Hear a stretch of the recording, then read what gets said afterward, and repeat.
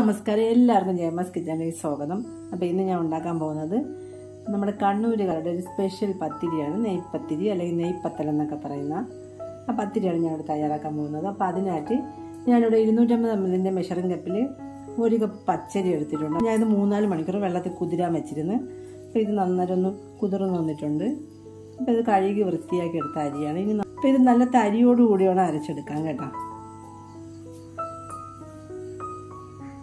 അപ്പം നമ്മൾ ഈ കുതിർത്ത് വെച്ചേക്കുന്ന അരി ഈ മിക്സിയുടെ ജാറിലോട്ട് ഇട്ട് കൊടുക്കാം. ഇനി നമുക്കിതിലോട്ട് ഒരു ടീസ്പൂൺ സാദാ ജീരകം ചേർത്ത് കൊടുക്കാം.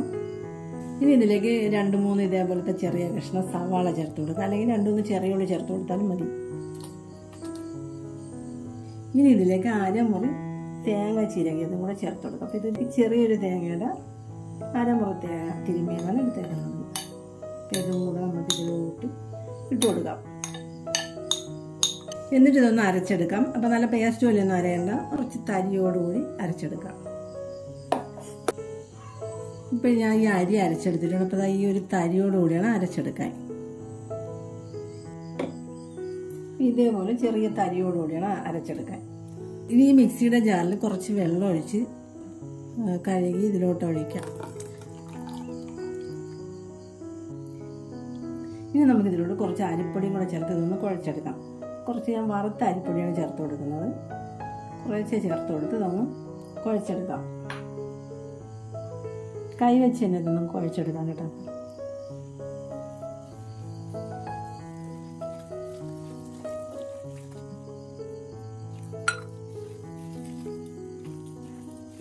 ആവശ്യത്തിന് കുറച്ച് ഉപ്പും കൂടെ ഇട്ട് കൊടുക്കാം. എന്നിട്ട് നല്ലതുപോലെ ഒന്ന് കുഴച്ചെടുക്കണം. ഒരു പരുവത്തിലാണ് നമ്മൾ കുഴച്ചെടുക്കേണ്ടത് കേട്ടോ. അപ്പോൾ ഇനി നമുക്ക് ഇതൊന്ന് പരത്തിയെടുക്കാം. ഇനി നമുക്ക് പത്തിരി വളരെ എളുപ്പത്തിൽ പരത്തിയെടുക്കാം. ഇത് പ്ലാസ്റ്റിക്കിന്റെ ഇതേപോലെ കവർ എടുത്തിട്ട് കുറച്ച് ഓയിലൊന്നും ഇതേപോലെ തടവി കൊടുക്കണം.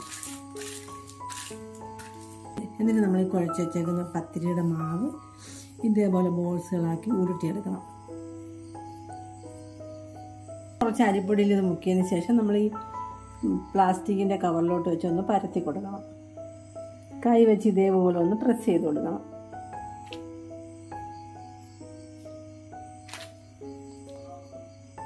അതിനങ്ങ് തിക്കോ ആവരുത് തിന്നോ ആവരുത്. കുറച്ച് കട്ടിയോട് കൂടി വേണം ഇത് പരത്തിയെടുക്കേണ്ടത്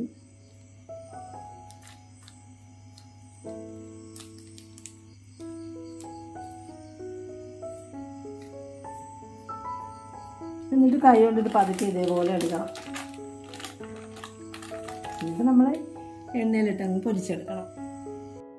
ഇനി നമുക്ക് പത്തിരി പൊരിച്ചെടുക്കാം. അപ്പോൾ ഗ്യാസ് ഓണാക്കിയിട്ട് നമുക്ക് ഈ ചീനച്ചട്ടിലോട്ട് കുറച്ച് വെളിച്ചെണ്ണ ഒഴിച്ചു കൊടുക്കാം.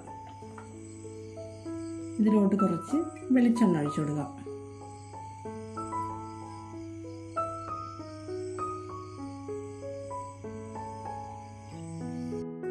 അപ്പം എണ്ണ നന്നായി ചൂടായി വന്നതിന് ശേഷം മാത്രം നമ്മൾ ഈ പത്തിരി ഇതിലോട്ട് ഇട്ട് കൊടുക്കണം.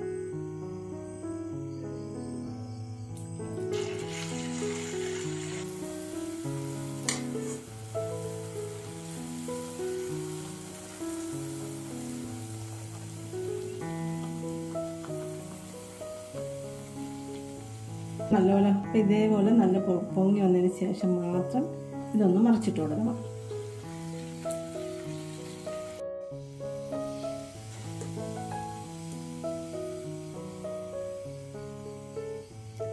ഇപ്പോഴിതാ ഇത് നന്നായിട്ട് മുരിഞ്ഞ് വന്നിട്ടുണ്ട്. ഇനി നമുക്ക് ഇത് ഈ എണ്ണയിൽ നിന്ന് മാറ്റാം. നെയ്പ്പത്തിൽ നല്ല അടിപൊളിയായിട്ട് വന്നിട്ടുണ്ട്. ഇപ്പം ഇതേപോലെ ബാക്കി പത്തിരി കൂടെ നമുക്ക് പൊരിച്ചെടുക്കാം. അഥവാ ഇത് പൊന്തി വന്നില്ലെങ്കിൽ ഇതാ ഇത് വെച്ച് ഇങ്ങനെ പതുക്ക തിരിച്ചും മറിച്ചോട്ടും ഇങ്ങനെ തട്ടി കൊടുത്താൽ അപ്പം അങ്ങ് പോകും ഇതേപോലെ പൊന്തി വന്നോളും. കണ്ടോ? അതാ ഇതേപോലെ നല്ല പൂരി പോലെ പൊന്തി വരും.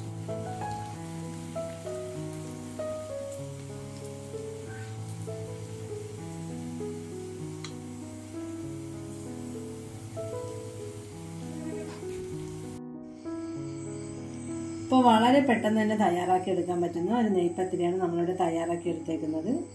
അപ്പോൾ എല്ലാവരും ഇതേപോലെ ഒന്ന് ട്രൈ ചെയ്ത് നോക്കണം. വളരെ എളുപ്പമാണ്. അപ്പോൾ നിങ്ങൾക്ക് ഈ വീഡിയോ ഇഷ്ടമായെങ്കിൽ ലൈക്ക് ചെയ്യാനും ഷെയർ ചെയ്യാനും സബ്സ്ക്രൈബ് ചെയ്യാനൊന്നും മറക്കരുത്. അപ്പോൾ നമുക്ക് മറ്റൊരു റെസിപ്പിയുമായി അടുത്ത വീഡിയോ കാണാം.